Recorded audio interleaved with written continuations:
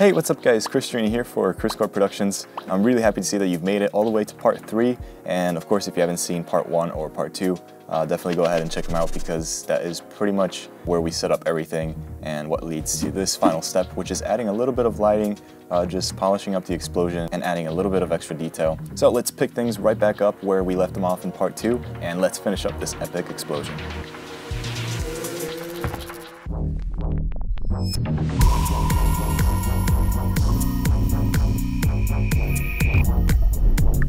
Okay, so the very final things that we were doing in part two is just adding a little bit of pretty much just color correction on the explosions, making them a little bit less yellowish. And you can see here that I added a little bit of curves and some tint effects to, to pretty much just bring the colors of those explosions, those fireballs, to a deeper uh, orange, reddish color.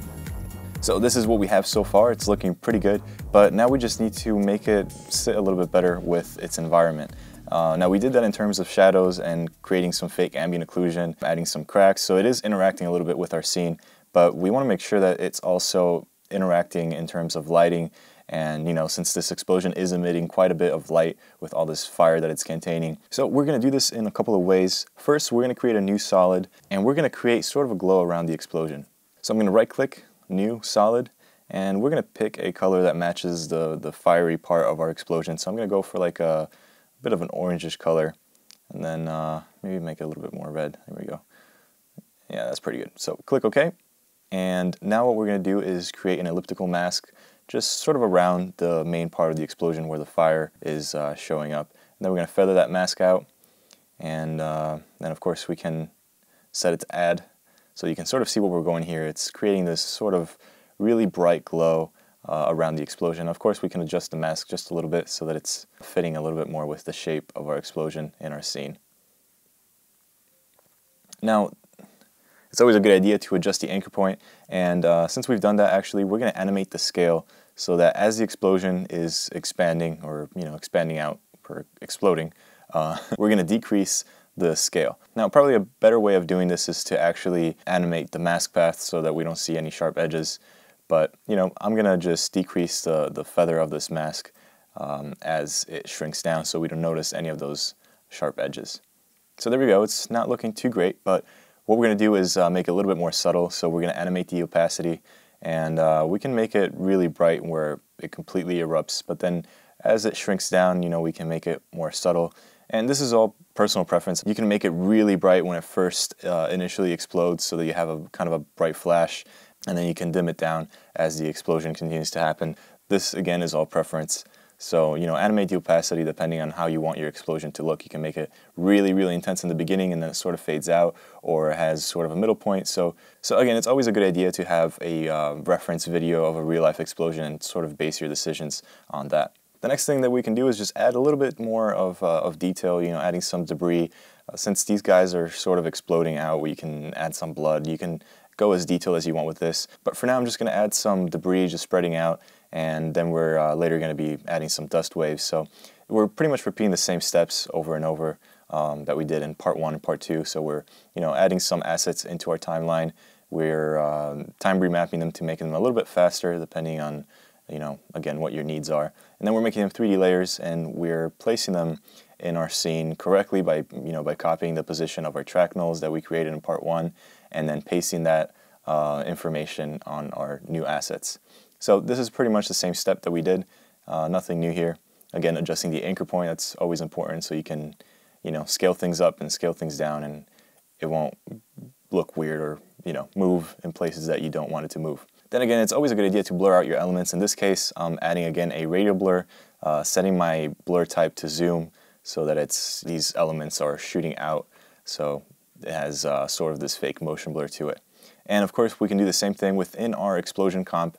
If you remember in part one, we, we set up our, our main explosion elements to be all in one composition. So we can add some 3D elements such as debris and even some dirt charges in this um, composition. Uh, this way we can sort of place elements in between certain layers of the explosion itself. So I'm trying to keep this tutorial short, so you pretty much get the point. We're repeating the same steps, so I'm going to just speed through this part. I'm just pretty much adding some, some dirt charges and I'm placing them uh, and rotating them in between all the layers of our blast and our explosion comp. So obviously the name of the game here is to just add as much detail as possible. You know, take your time. Um, don't do like I'm doing. I'm just adding a few things here and there uh, as examples just to make it look okay. But obviously if you're doing an explosion for your project, you sort of want to nurture it like it's your own baby. That's weird. I don't know. Uh, you get the point. You want to spend a lot of time and make sure that every detail is perfect um, because you know this is your work and you should take some pride into it.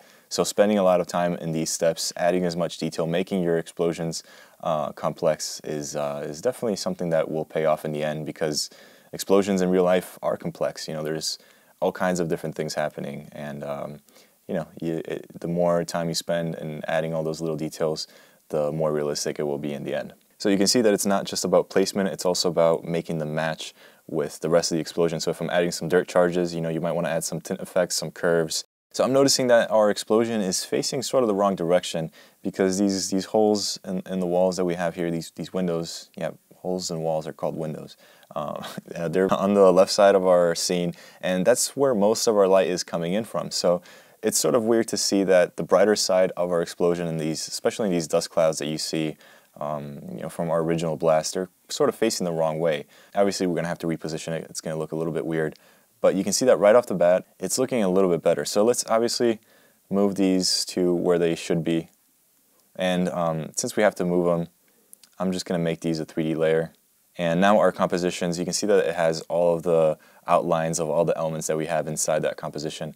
So now we can sort of rotate it and we can uh, move this explosion around, um, you know, a little bit better than just moving a flat thing.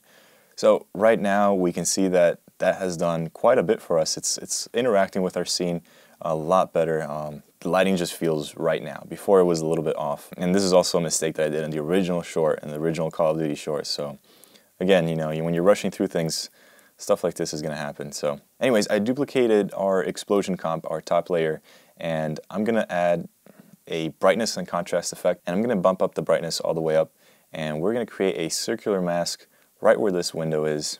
And this is sort of just to add to the idea that you know this explosion is being illuminated by the light coming through these windows. So you can feather the mask out and then you can set that layer to add.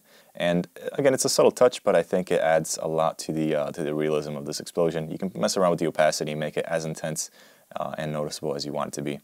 So this is looking pretty good, uh, definitely a lot better than before. So the next thing to do would be adding some dust waves, you know, just uh, sort of give the idea that this this explosion is, is pushing some, some dirt off the ground and it's just further add some impact. So I'm using some dust waves from Action Essentials 2 and what we're going to do is create a circular mask and feather it out just so we don't see any sharp edges since we're going to be placing these in 3D, uh, in 3D space and we want to make sure that we don't see any uh, part of the video cutting off. So that looks pretty good. Now I'm going to add a, um, a tint effect just to uh, match the color of, of, this dust wave to our, our ground here. Looking okay. Um, we're going to have to make multiple copies of this uh, of this dust wave, maybe offset a little bit so it's it's not the same thing over and over. And then we can push it closer to the camera. And this is going to be great in the end because it's going to add a lot of parallax between um, you know all this atmospheric effects that we're adding and it's going to really sell the idea that this explosion is again a 3D a real thing living in our scene and not just a flat uh, visual effects that was just slapped onto the video. So you can make as many copies as, you want with this, you know, go as intricate. And of course you're going to run into some problems. You're going to have to uh, maybe uh, set the anchor point down to where the explosion starts, and then you can animate the scale of some of these dust waves so that they, uh, they sort of expand out from the explosion. And, um, and you know, th this all depends on what kind of assets you're using. And then of course, uh, maybe offsetting them is not enough. They still look a little bit too the same, so you can flip them around and uh, just play around with them, make them look different. Use different assets, you know, just make sure that nothing in your scene looks like a clone of another asset, because it, it might be something that not a lot of people notice, but but having identical things in your scene is, is a dead giveaway that it's fake. So, you know, just be aware of that. And I'm just going to, again, speed through this because we're repeating the same steps. It's just, again, adding assets into your scene, just like we did before. Uh, in this case, it's just these dust waves that we're separating out in 3D space, pretty much exactly like what we did in our original blast, where we separated different parts of the explosion out in 3D space to, again, give that sense of parallax and movement. Alright, so the final step that we're going to be doing for this tutorial is adding some optical flares.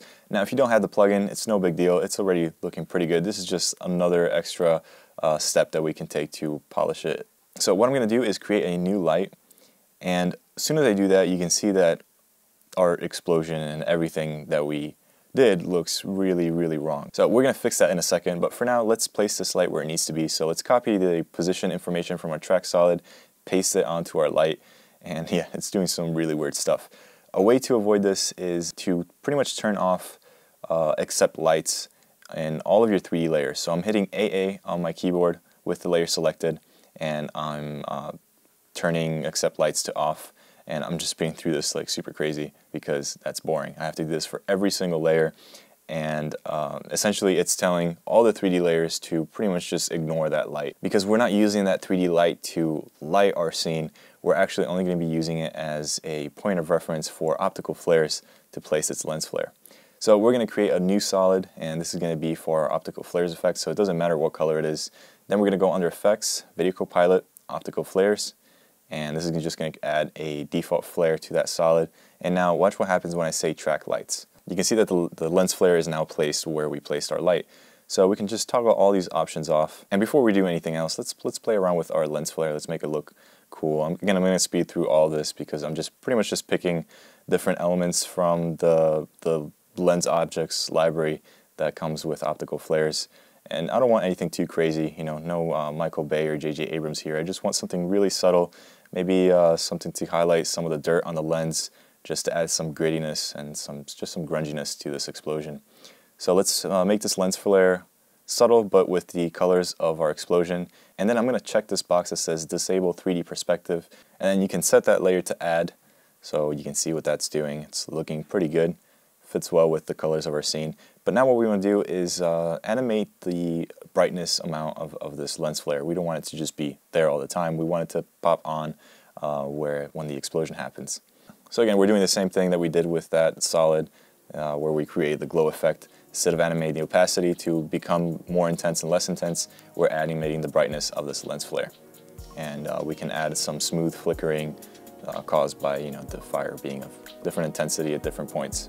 So I think that's where I'm going to end this tutorial. Um, there's going to be a few extra bonus videos at the end, so definitely stick around. But before you guys click away, I just want to mention something real quick. It's a Kickstarter campaign that a very talented VFX artist, Rody Polis, is, uh, is doing right now on Kickstarter. And you can see here, he has some pretty epic explosions. And the reason why I want to mention him is because we took a lot of steps into uh, making our explosion epic and making it realistic and working with some of the limitations that come with the assets that we used. But what Rody Polis is, is offering is something a little bit different and it's just these 4K huge explosions that honestly take off some of the limitations that we previously had with some of the other assets.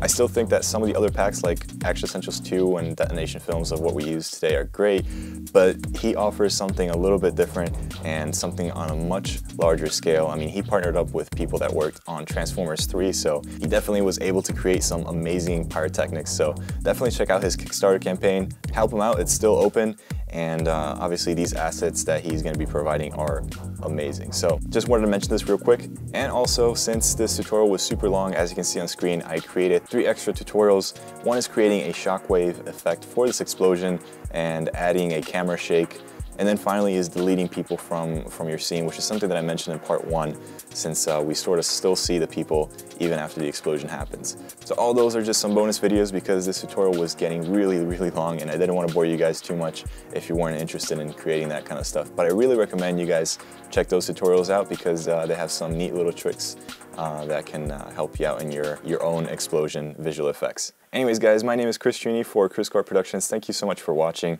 I'll see you next time.